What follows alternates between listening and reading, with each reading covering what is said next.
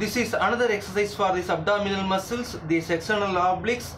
This is also recommended for this pelvic floor exercise. For this men's erection problems, this is also recommended for pregnant women. Lie on your side like this. Extend both legs. This works these external oblique muscles. You can keep your head on the floor or just you can support it like this. Raise your leg as high as you can. This is one variation. This is one variation. Or if you are finding it very difficult, you can bend one leg and raise the other leg. Do it for both legs.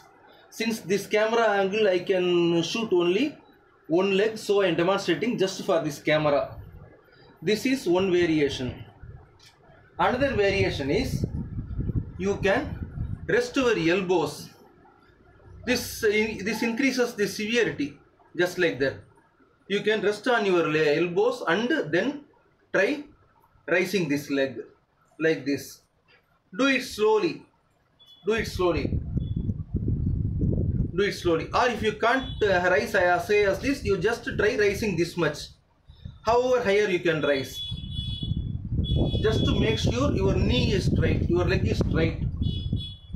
And then there is this variation. You can bend the lower leg and then rise it. This in, this increases the range.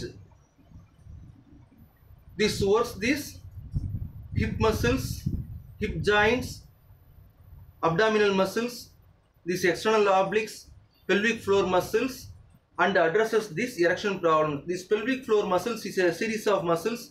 Uh, I, will, I will explain in a later video. Please subscribe to my YouTube channel. Click on the links below for free ebooks and some stuff that might be very useful to you. Thank you very much.